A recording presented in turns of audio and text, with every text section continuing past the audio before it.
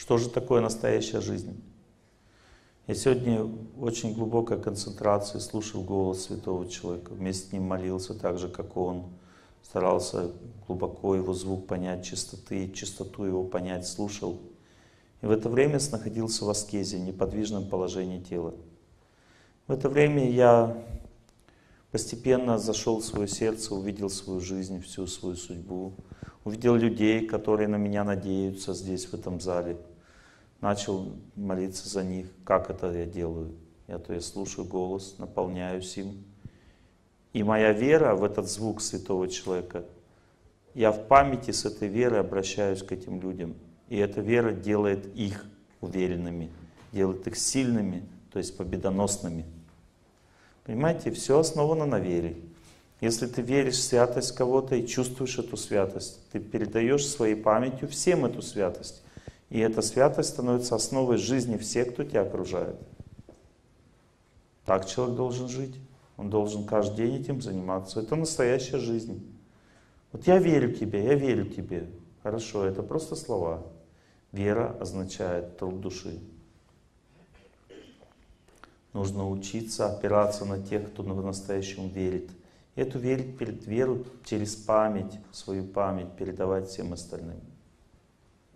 Хотя есть чувство несправедливости по отношению к кому-то, оно постепенно проходит. У меня тоже бывает чувство несправедливости, я не каменный человек. Но я знаю, что в этом нет сильно большого чего-то. Стресс означает, что я придаю сильно большого значения тому, что не является таковым. Ой, я не могу здесь жить в этой стране, у меня нет работы, нет счастья, нет любви, мне плохо здесь. Это просто влияние энергии времени. Все. Если ты молишься, убираешь эту энергию, тебе становится здесь хорошо, ты становишься счастливым, у тебя появляется близкий человек, у тебя появляется работа, несмотря на то, что тебе все это здесь не положено. Столько, что значит не положено? Это значит, что есть сила, которая препятствует тебе возможности здесь жить счастливо. А ты, если силу эту преодолел своей с помощью звука, слушания святости и памяти, звука и памяти, ты победил, тебе стало все положено. Некоторые говорят, нет, нет, не положено, означает никогда не положено. Такие есть умники. говорят, да, не, не положено все. Доктор, я жить буду, я бы тебе не советовал.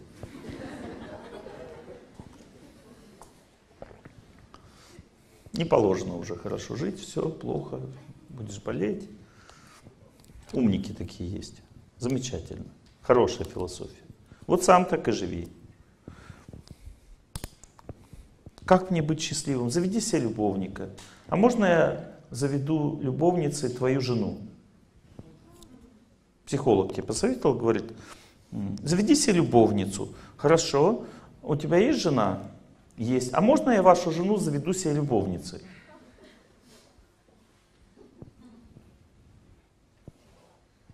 Все познается на себе, на своем опыте. Если ты так говоришь, что кому-то ты придешь, тебе скажут, все, осеннее пальто можешь не покупать. Ты сам всю жизнь так, такие вещи говорил через гороскоп другим людям. Теперь тебе скажут то же самое. Ты поверишь в это? Нет. Ты скажешь, нет, я все смогу, я клятвы не нарушу. Своим дыханием землю обогрею. Ты только прикажи, я не струшу, товарищ время. Я хочу с временем отношения силы, отношения силы строить. Я хочу побеждать в этом мире, а не сдаваться. Но если так, то почему ты тогда другим говоришь не такие же вещи? В этом мире нет поражения. В этом мире есть только победа. Поражение означает неправильная философия, неправильное восприятие мира. Человек, который даже не может победить злокачественную опухоль на пороге смерти, он не терпит поражения, если он думает о Боге. Он испытывает огромное счастье, даже уходя из этого мира. Я был свидетелем одного удивительного ухода в святом месте. Один человек болел злокачественной опухолью. Иногда даже святой человек не может вылечить злокачественную опухоль, потому что так хочет Бог. Хочет его себе забрать. Ему надо по законам это все делать. Он не может его просто взять и забрать. Надо, чтобы все было внешне, выглядело, что вот как бы по законам. Но есть признаки, что этот человек достиг совершенства жизни. Я вам сейчас расскажу эти признаки. Он был очень умиротворенным перед уходом.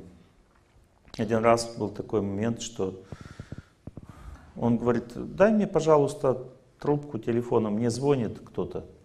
А жена говорит, ну никто не звонит. Он говорит, дай, пожалуйста, трубку. Она ему дает трубку, он говорит, алло, да, я вас слушаю, все понял, спасибо, обязательно так сделаю. И она говорит, а кто с тобой разговаривал? Он говорит, там со мной разговаривал мой духовный учитель. А духовный учитель уже давно ушел из этого мира. И что он тебе сказал? Он мне сказал, что завтра мне надо не, не есть, не спать сейчас, все, только молиться. Завтра я уйду к нему. Все, завтра я уйду к нему, сегодня я молюсь. Она думает, ну вот какие-то галлюцинации уже пошли. На следующий день, в это же время примерно, он лежит, говорит, ой, посмотри, как все красиво вокруг, какая красота. Я вижу, что все красиво становится. Красота какая-то. Она говорит, никакой красоты, ничего не вижу. Вот он говорит, посмотри в окно, как все красиво стало. В святом месте был этот человек.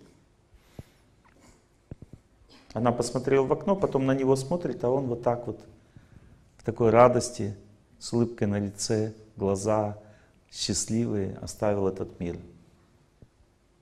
Нет смерти для таких людей, которые уже все сделали в своей жизни, все самое красивое сделали не жили для счастья, для чистоты и ушли в эту чистоту.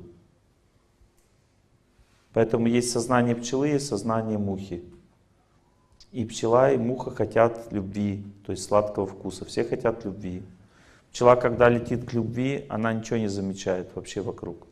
Только цветок, только нектар, только пыльца. Когда она берет ее, не себе. Это осы сами жрать все начинают. Пчела несет в улей.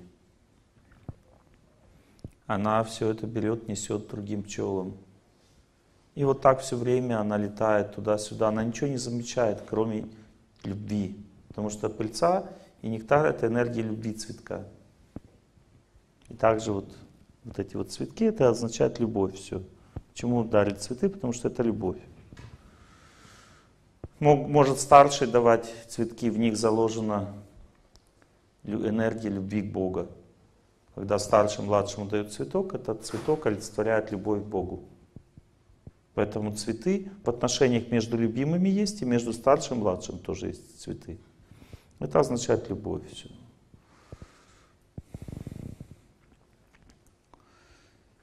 И когда пчела устает, она потом прилетает в улей, уже не может лететь просто, она не может. Она начинает там ползать, есть мед, и он прилипает ей к крыльям, она вся в этом меде становится, изваляется, и вся там, она погружается в мед, вся в меде, короче, становится. И вообще она залепляется медом, вот вся лежит в этом меде. Глаза квадратные. А мед это энергия любви. И она вся в любви, вся в шоколаде лежит. И потом ее другие пчелы облизывают, облизывают всю. И она раз, и опять за, за нектаром. И так всю жизнь. Она кроме меда ничего не знает, пчела вообще в жизни. Она знает только любовь. Все. Муха тоже летит за, за любовью, она хочет любви, но по дороге она смотрит, чтобы нигде не было бардака. Для нее любовь на втором месте стоит, а на первом правило. Главное, чтобы все правильно было, ничего, все должно быть хорошо, правильно, никакого бардака не должно быть. Она всем делает замечания по дороге, и в конце концов она видит, там лежит какая-то куча. Вот, вообще полный бардак. Надо разобраться с этим вопросом. Она туда летит в эту кучу, туда залазит, у нее там потом опарыши появляются там. И вот она в этой куче всю жизнь проводит вместо нектара. То есть поэтому выбери для себя, чего ты хочешь. Делать замечания, на всех злиться, ругаться или любить или любить, прощать и трудиться сердцем, ты выбери для себя, что ты хочешь, пщеидную жизнь и попасть в пространство духовное, где только чистота и любовь, или попасть в пространство злое, где все тебе будут делать замечания постоянно. Один священник подошел к своему батюшке, говорит, ты мне образно, просто образно расскажи, чем отличается рай от ада. Вот расскажи, как ты примерно, чтобы было понятно. Он говорит, ну хорошо, вот смотри, ты заходишь в столовую, в трапезную, и там одна такая стоит, ну, похлебки, такая чашка, сидят вокруг монахи, у них длинные ложки, и они пытаются оттуда кушать. Но так как ложка длиннее, как бы, а можно брать только за край, ложка длиннее, поэтому ты не можешь себе засунуть эту ложку в рот, и все очень сильно мучаются, и голодные, и несчастные, потому что они берут, и каждый пытается больше взять себе из этой похлебки. Это ад. Он говорит, а рай тогда что? Ну, то же самое, говорит, такая же кухня, большой стол, сидят такие же монахи, такая же похлебка, но только они, когда из ложки берут, они вообще про себя не думают, кому-то другому в рот кладут эту еду.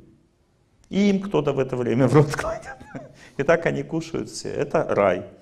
Вот то же самое, только вот в этом разница. Когда человек живет в боли, в своих трудностях, он живет в страхе, он живет в напряжении, ему хочется, чтобы у него была счастливая жизнь, он живет в аду. Когда человек забывает про себя, служит другим, хоть этот путь неведом, этот путь неведом. Никто не знает, что надо отречься от своего счастья. Все говорят, так это, а как тогда вообще, как без своего счастья? Да, вот отдавай все, и все, не думай о себе. Счастье будешь получать с другой стороны. Не сам будешь себе добывать, а тебе будут давать. Забудь про себя. Счастье все будут тебе приносить. Давать тебе будут счастье. Если ты забыл про себя, все будут тебе помнить в это время.